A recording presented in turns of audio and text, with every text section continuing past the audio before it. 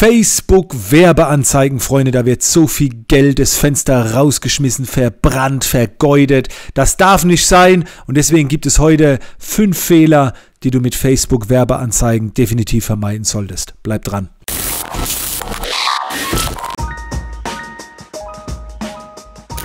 Kelvin, wie schaltet man eigentlich Facebook-Werbeanzeigen?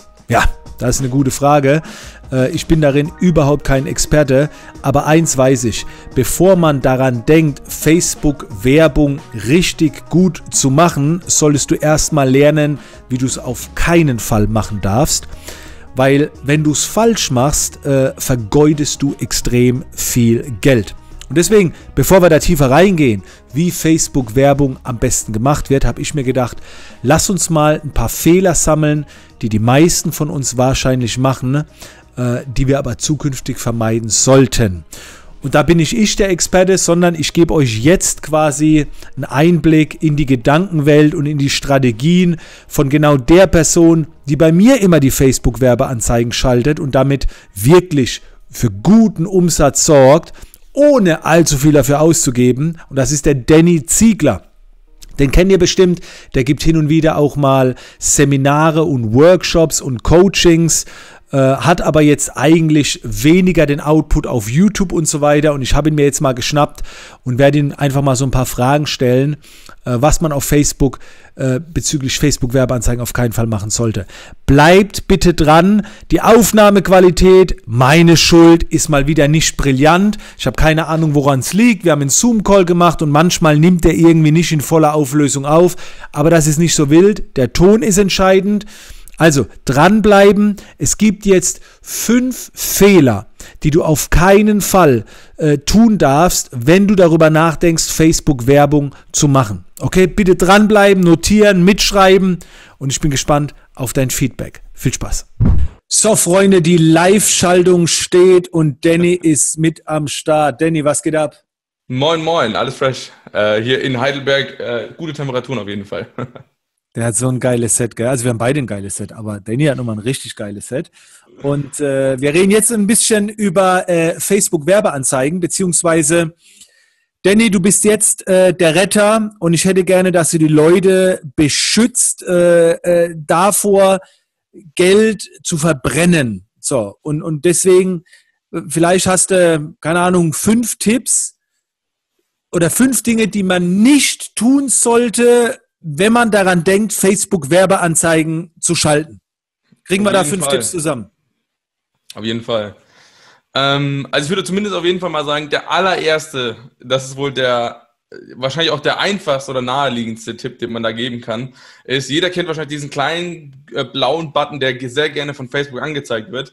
Wenn man äh, Facebook, äh, seinen, seinen Facebook-Beitrag gepostet hat, dann steht immer, möchtest du deine Veranstaltung bewerben oder möchtest du deinen Beitrag bewerben? Eigentlich nur einen Klick entfernen und ruckzuck ist das Geld dann schon auch weg. Ähm, bitte nutzt diesen Button nicht. Liegt einfach daran, ihr habt viel zu wenig in, ähm, Informationen, viel zu wenig Einstellungsmöglichkeiten und diese Informationen solltet ihr natürlich auch auf jeden Fall nutzen, weil die euch natürlich am Ende eine ganze Menge Geld kosten können. Ey, Freunde, jetzt bitte ganz ehrlich.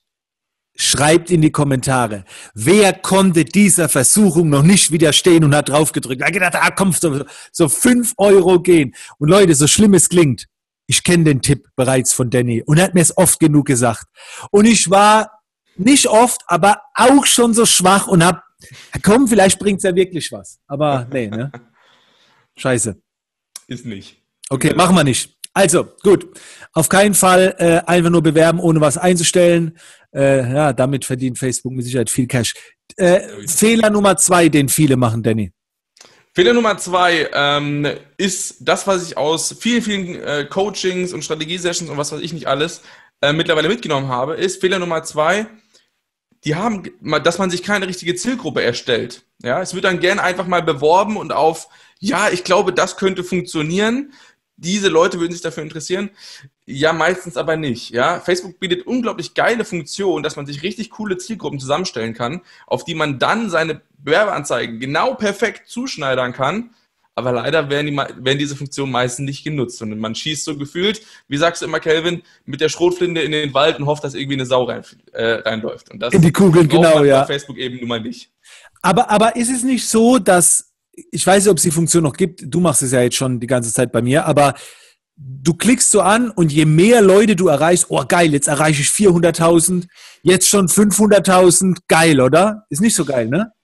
Ja, das ist nicht so geil. Damit kommst du eigentlich schon direkt, das war eine gute Überleitung, kommst du schon eigentlich direkt zu meinem dritten No-Go-Punkt auf jeden ah, okay. Fall. Werbeanzeigen zu erstellen, die man einfach auf Reichweite bewirbt, weil man natürlich hofft, möglichst viele ah. Leute zu erreichen. Das natürlich für verhältnismäßig wenig Geld, wenn man das Ganze jetzt mal vielleicht auf Offline-Werbung ziehen würde oder vergleichen würde. Aber natürlich Reichweite, die, diese, diese die Funktion auf Reichweite, deine Beiträge zu bewerben, klingt cool, ist es aber meistens nicht, weil natürlich Facebook dann einfach sagt, okay, du gibst mir dein Geld, ich suche dir mal irgendwelche Leute raus und vielleicht ist mal irgendjemand da dabei, der tatsächlich auch deine Inhalte oder deinen Beitrag jetzt tatsächlich sehen möchte. Die Chance ist meistens aus Erfahrung nicht ganz so hoch. Okay, gehen wir mal ein bisschen tiefer rein zu diesem Tipp. Wenn du jetzt eine Werbeanzeige für uns erstellst, äh, gibt es da so Hausnummern, dass du sagst, äh, also mehr als 20.000 oder mehr als 100.000 will ich nicht erreichen? Gibt es so, keine Ahnung. Ähm, also es gibt kein, kein Maximalvolumen an Personen, die ich nicht erreichen möchte oder bis dahin und dann äh, will ich keine Leute mehr erreichen, weil ähm, das natürlich keinen Sinn ergeben würde. Was es aber natürlich gibt, die einzelnen Zielgruppen, also diejenigen, die wir uns dann erstellen, dass wir zum Beispiel sagen, okay, ich möchte nur Personen haben, die sich sehr wahrscheinlich für mein Produkt äh, äh, interessieren oder ich möchte nur Personen erreichen, die sich mit, ähm, die aus der Fotografiebranche kommen und sich mit der Selbstständigkeit beschäftigen zum Beispiel. Diese Zielgruppen bieten, äh, haben dann natürlich irgendwann ein Limit, weil natürlich nicht jeder sich dafür interessiert und dann kommt man quasi an diesen Punkt, dass man sagt, okay, 300.000, 1,2 Millionen Menschen maximal sind die Zielgruppe, die ich hier erreichen kann. Und dann kommt natürlich noch dazu, ähm, ich kann die natürlich nicht alle erreichen, weil natürlich nicht alle gleichzeitig online sind. Ne? Logisch. Ah ja, okay, alles klar. Äh, gut, es waren jetzt drei äh, Dinge, die wir nicht machen sollten. Was äh, ist Punkt Nummer vier? Punkt Nummer vier. Ähm, wahrscheinlich hat der eine oder andere das schon mal gehört. Es soll da so ein Facebook-Pixel geben, über den auch äh, sehr gerne mal in der Politik äh, ge gefachsimpelt wird. Also ich kenne Pixel noch aus meiner Photoshop-Zeit. Ja, das kann man sich fast so ähnlich vorstellen. Stell dir so einen kleinen Mini-Pixel aus deiner Photoshop-Zeit vor und diesen Mini-Pixel ähm, macht man oder, oder den ähm, setzt man quasi auf jede Webseite, die quasi irgendetwas zu tun hat ähm, mit Facebook-Werbeanzeigen. Bedeutet, auf jeder Seite, wo dieser kleine Mini-Pixel ist, werde ich als Person, wenn ich zum Beispiel bei Zalando, wenn ich bei Rewe oder bei uns im Shop, egal wo bin, und dann meistens diesen Banner noch anklicke, ja, ich erlaube alle Cookies, dann ah. aktiviert ah. sich dieser kleine Mini-Pixel und dann kann man quasi Leute nachverfolgen. Klingt viel, viel spannender, als es eigentlich ist. Die coole Sache ist aber, man kann dadurch seine Verkäufe und natürlich auch seine ähm, Kunden nochmals erreichen. Und das ist natürlich was, was wir normalerweise im Offline-Geschäft nicht können oder auch im normalen Online-Geschäft, unsere Leute nochmals erreichen, obwohl sie schon einmal da waren. Das ist also, wenn ich jetzt äh, nach dem Rasenmäher irgend, irgendwo suche, dann habe ich irgendwie so einen Pixel an mir kleben, ne? So kann man sich das vorstellen. Ich sage immer, das ist so eine kleine Klette, so ein kleines Klettmonster. Wir kennen das alle, wenn wir früher durch die, durch die Wiesen gelaufen sind und hatten am Ende so ganz viele kleine Kletten an unseren Schuhen. So in der an, so in der, äh, so kann man sich den Pixel auch vorstellen. Der klettet dann quasi irgendwo an der Hose und egal wo man hingeht, man hat den dann trotzdem dabei. Und okay. umso mehr man sich quasi durch den Zalando-Shop ähm, quasi rumläuft, umso mehr von diesen kleinen Kletten hat man am Ende an seiner Hose. Und, und jetzt so für die äh, Vollidioten, die sich damit noch nicht so gut auskennen, äh, dadurch, dass ich einen Pixel habe, lässt sich alles besser tracken oder geht es auch ohne den Pixel?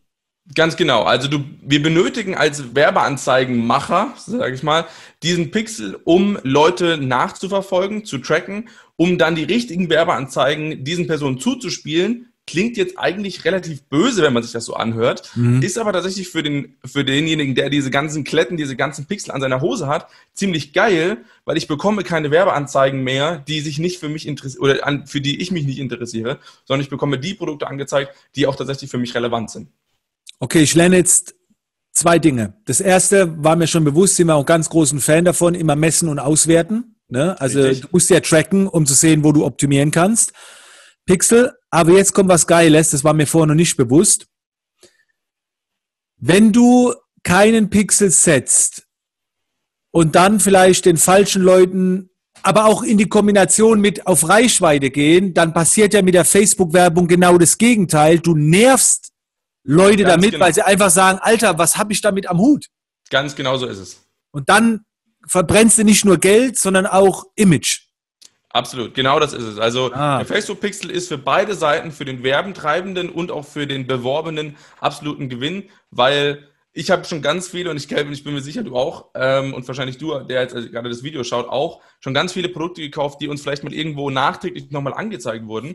Ähm, und wir dachten, ey, cooles Produkt eigentlich. Da wäre ich nie drauf gekommen, wenn ich die Werbeanzeige wahrscheinlich nicht gesehen hätte. Ja. Ähm, und mir geht das definitiv so. Ich bin definitiv jemand, der gerne neue Produkte gerade kauft und die sind meistens, also wirklich ganz, ganz neue Produkte, ähm, irgendwie Kickstarter oder sowas und die werden meistens erst über Facebook-Werbung ausgespielt. Ja, ich habe schon einiges über Werbeanzeigen gekauft und bin da auch äh, offen dafür, wenn es die richtige Absolut. ist. Absolut. Ne? Klar, ja. Lieber Werbung, okay. relevant ist. Ähm, fünfter Fehler. Fünfter Fehler, und das ist wohl der größte Fehler, den man überhaupt, wenn man über das Thema Facebook-Werbung reden kann, am Ende machen kann. Nämlich man denkt, oh, wie viel Budget muss ich mir denn da zur Seite legen oder was kostet mich denn Facebook-Werbung? Facebook-Werbung, wenn es richtig gemacht ist und man richtig weiß, was man da tut, kostet eigentlich gar nichts.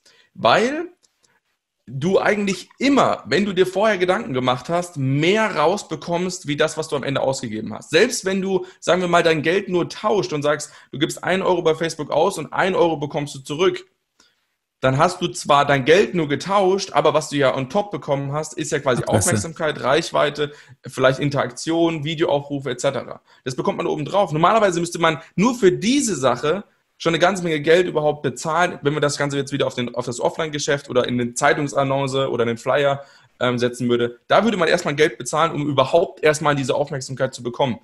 In den meisten Fällen, da kann ich jetzt mal gerade eine, eine, eine Zahl einfach raushauen, ähm, auf die letzten zwei Jahre, habe ich äh, in, meinem, in, meinem, letzten Video erst äh, selbst gesehen, ähm, haben wir einen Return on Ad Spend, das ist so ein kleiner Mini-Wert, da sagt man, okay, das, damit machst du aus einem Euro mehr Geld und der liegt bei 6,45. Bedeutet, aus den letzten zwei Jahren haben wir aus einem Euro, den wir bei Facebook ausgegeben haben, immer mindestens 6,45 äh, 6,45 Euro am Ende rausbekommen. Ja? Das ist ein Wert von uns und das ist wirklich kein Hexenwerk. Das kann auf jeden Fall jeder erreichen, der sich ein bisschen damit auskennt.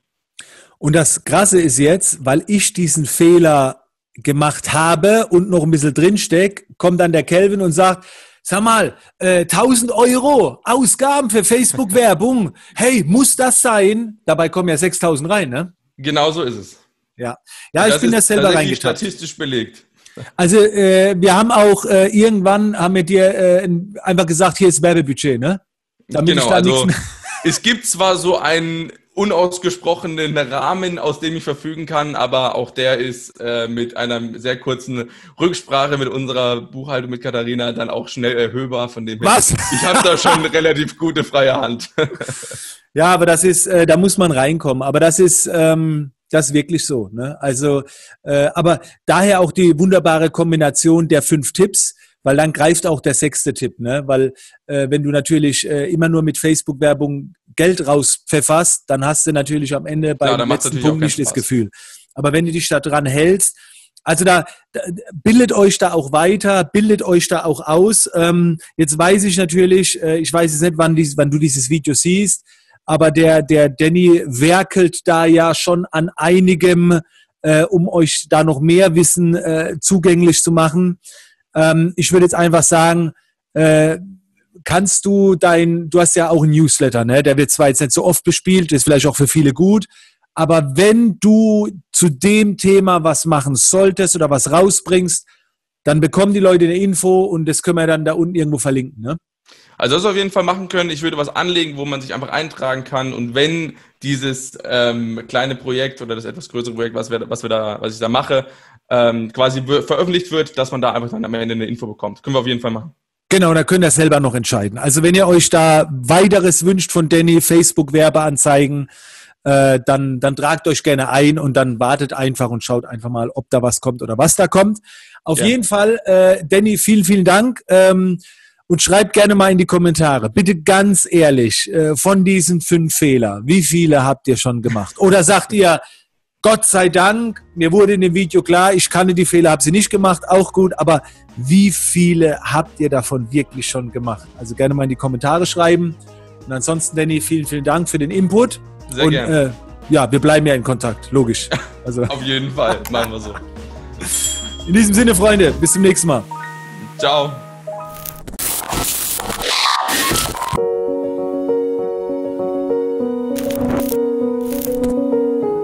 Hey Kevin, der hier. So, ich komme gerade aus meinem Livestream äh, und habe dort meinen ersten Online-Kurs präsentiert und äh, du bist der Erste, dem ich das jetzt äh, sozusagen per Sprachnachricht auch mitteile, weil ich das auch, äh, weil ich die Gelegenheit nutzen möchte, mich bei dir zu bedanken, weil es einfach so dermaßen geil ist, was ich da von dir für einen Input bekommen habe die letzten Monate und dass das jetzt in meinem ersten eigenen Produkt mündet, ist für mich so dermaßen aufregend, ehrlich gesagt. Und äh, es ist einfach nur ein unbeschreibliches Gefühl, wenn du so lange an was gearbeitet hast, ja, und jetzt bekommst du die Wertschätzung. Die Leute kaufen tatsächlich schon, Kelvin, die Leute kaufen meinen Kurs. Ey, es ist so geil. Ja, oder auch, dass ich halt durch dich Menschen wie Mike Fischer kennengelernt habe. Allein das schon, ne? Also ich bin gerade in so einem, boah, ich habe Gänsehaut die ganze Zeit, ne? Das ist so unfassbar geil. Äh, ja, und das wollte ich auf jeden Fall mit dir teilen, ähm, weil ich dir einfach so unfassbar dankbar bin, dass du so ein offener Mensch bist, dass du, ähm, dass du deine, deine Werte teilst, dass du deine, deine Themen teilst. Einfach mega geil. Und ich habe es in einer Minute geschafft. Yippie!